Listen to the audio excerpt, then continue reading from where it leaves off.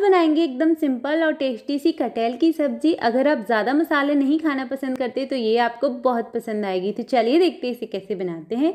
इसे बनाने के लिए ना, सबसे पहले मैंने यहाँ पर आधा के जी कटहल लिया है और इसको अच्छे से धुलकर छोटे छोटे पीसेज में कट करके लिया है। और यहाँ ध्यान रखिएगा, जो इसके बीज होते हैं ना, उनको ज़रूर छीलिएगा, नहीं तो खाने में बड़ा ही दिक्कत करते हैं।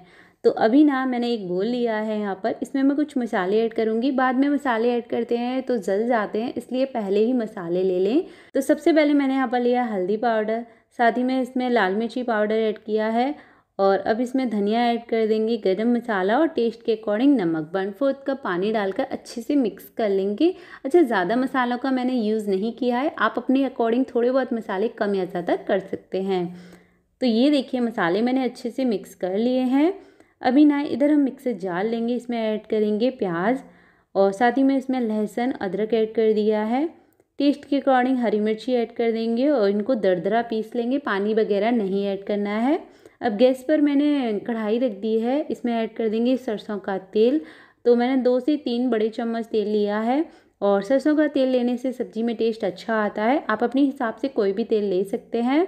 फिर इसमें ऐड कर देंगे जो पेस्ट हमने बनाया था, लहसुन, प्याज और अदरक का। और इसे लगातार चलाते हुए भून लेंगे, तब तक भूनना है। जब तक ये इसका कलर है, वो चेंज ना हो जाए।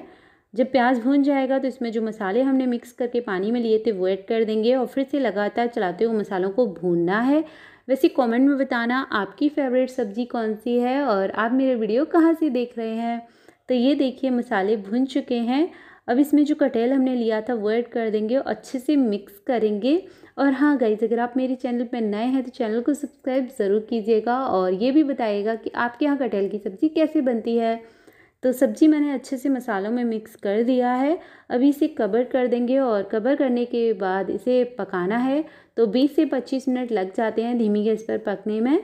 तो ये देखिए, सब्ज़ी अच्छे से पक चुकी है। अभी हम इसमें ऐड कर देंगे बारीक कटा हुआ हरा धनिया। और गर्मा गर्म इसे सर्व करेंगे। तो मैंने इसे लंच के लिए बनाया था तो मैंने तो इसे पैक कर दिया है। और आप इसे ज़रूर ट्राई कीजिएगा, इस सिंपल वे से बहुत ही मज़ेदार लगती है। और हाँ अगर आपको मेरी रेसिपीज़ पसंद आती हैं तो वीडियो को लाइक चैनल को सब्सक्राइब कर लीजिएगा। मैं मिलती हूँ नेक्स्ट रेसिपी के साथ, तब तक के लिए बाय बाय